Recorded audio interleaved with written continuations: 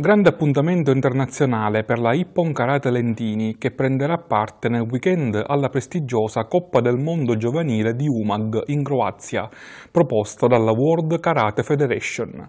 Saranno in gara 73 diverse nazioni e 4.000 atleti, tutti suddivisi ovviamente nelle varie specialità e categorie. I ragazzi del tecnico federale Marco Lentini saranno di scena nel comité in gara Paolo Propizio, Emma Colletti, Martina Quartararo, Andrea Danna, Irene Marturano, Mattia Ruvanzeri e Simona Di Gaetano, di Sciacca, Ribera e Sambuca di Sicilia. La Youth League è uno degli eventi più importanti a livello giovanile per il settore federale delle arti marziali. Ippon Karate Lendini che la scorsa settimana si è preparata disputando la Kamemi Cup con i passaggi di cintura e l'esibizione di arti marziali.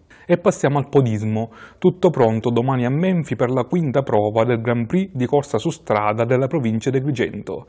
La gara è valevole per la ventesima edizione de Le Strade del Vino, ottavo trofeo Daniele Puccio. L'evento sportivo rientra ovviamente sotto l'egida della FIDAL, è valida per l'assegnazione dei titoli di campioni provinciali di corsa di categoria Senior Master maschile e femminile e la partenza è prevista alle ore 19 da Piazza Vittorio Emanuele. La gara di Menfi segue quella di Sciacca che si è svolta domenica scorsa e precede quella di Calamonaci che si terrà invece domenica prossima, sesta prova del Grand Prix provinciale e sesta edizione del trofeo podista turistico città di Calamonaci, gara di poco più di 6 km, con partenza da piazza San Vincenzo Ferreri, sempre alle 19 sia a Menfi sia a Calamonaci è prevista una corposa presenza di atleti di sciacca, rappresentanti delle società Marathon Club, Tartaruga e Agato Sciacca Terme.